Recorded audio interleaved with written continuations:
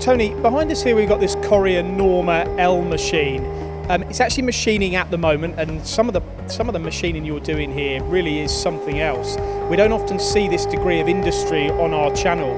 Um, when did you actually purchase this Norma machine? Uh, this is a very recent purchase. Uh, it was installed uh, August this year, and uh, basically it was a very good installation, and it was up and running within a couple of weeks of the spinal sign off, and it's been producing uh, good bites uh, for a few weeks now.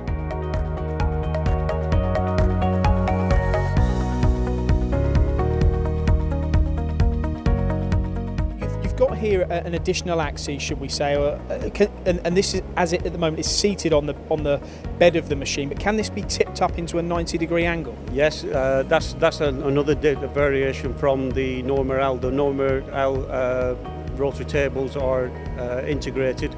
This we've uh, made a conscious decision to make this a horizontal vertical rotary table.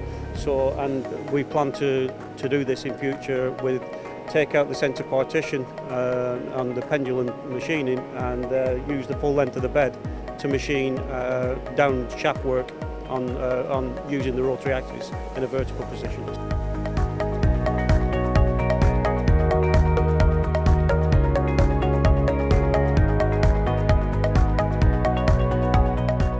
We are a, a very good machine for um, heavy duty machining, uh, heavy duty turning, uh, long bed uh, machining. Um, there must be many applications, uh, especially in the UK, that uh, could benefit from these, this type of machine. And I'm sure we're going to see a lot more of them in the market. Now, this is actually a, is it about eight metres? It, it's exactly eight metre uh, travel on the um, Z-axis.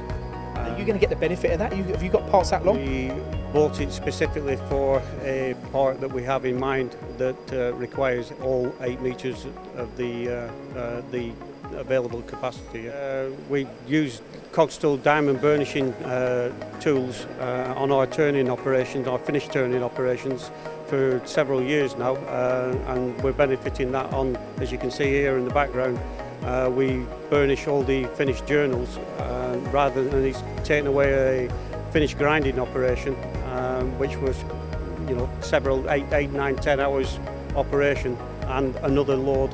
Uh, you know, another it, it's a it's a massive saving. But what about the actual finish that you're getting? Is it comparable? Uh, the fin the finish is more than comparable. The other benefit that you get from a burnishing uh, surface is also it kind of work hardens the surface so you get a harder uh, finished sur surface compared to grinding.